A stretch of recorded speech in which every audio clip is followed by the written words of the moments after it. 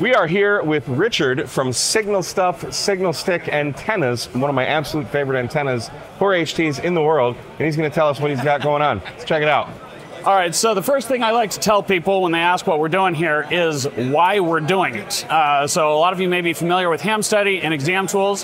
Ham Study is a system that I built out of frustration from all of the uh, people coming through my father in law's class mm. who were they failed the exam by just a tiny bit, and then it uh, turned out, you know, they hadn't seen all the questions, and it took them a long time a lot of people are studying, and even still, too many people study just using practice exams. And practice exams are great, but it's also statistically ridiculously inefficient. Uh-huh. Uh, and so I, I wanted to build a system that would be more efficient for studying. And I'm not an author, so I wrote, it's, it's focused around the question pool.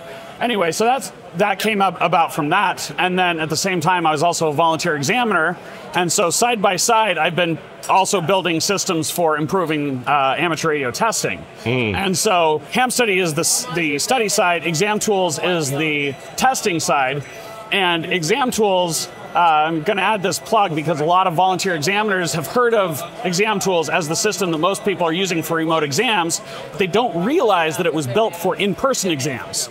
Um, and all data collected by, from exam tools from all of the uh, license exams issued is actually shared with the question pool committee so they can improve the future exam pools.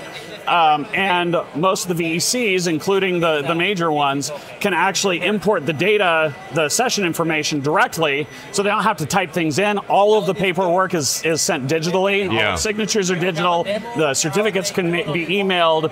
And so processing everything afterwards is much faster. It's less work on the sessions.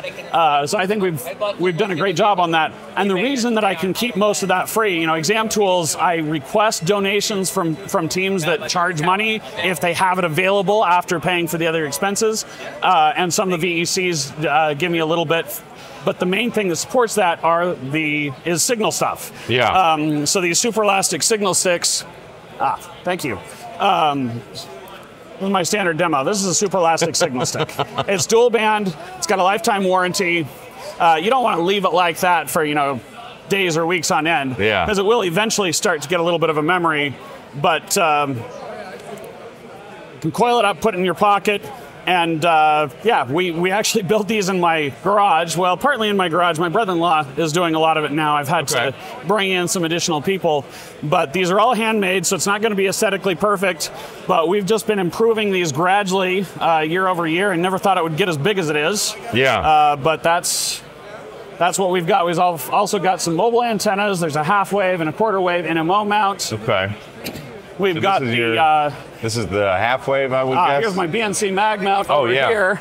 Uh, if you're already using a BNC adapter on your radio or you have a, a BNC radio, uh-huh. you pull the signal stick off your radio, drop it onto the BNC mag mount, slap yeah. the mag mount on your roof, and then plug the connector from the uh, BNC from the coax just right back into your radio. Yeah. It's pretty much the fastest grab and go option I, this I know what, of. Uh, Jason KM4ACK uses on yeah, his car. He's, he's been pushing those quite a bit. Yeah. Getting more and, and more popular. 100 watts too. I don't know if a lot of people know that. Yeah. They're 100 watts. Yeah. Um, so you're not going to hurt I, I, wouldn't do that at full duty cycle, but uh, a lot of people don't, you know, I've had people question that, but this is about the simplest design known to man. There's yeah. even some YouTube videos showing you how to make a clone. Uh, I, I, commented on one of them with some suggestions on improvable for, uh-huh. for improving it.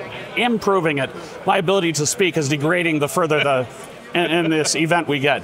But uh, yeah, so that's us. It's been a lot of fun. Awesome. Well, thanks so much. And where can people find you?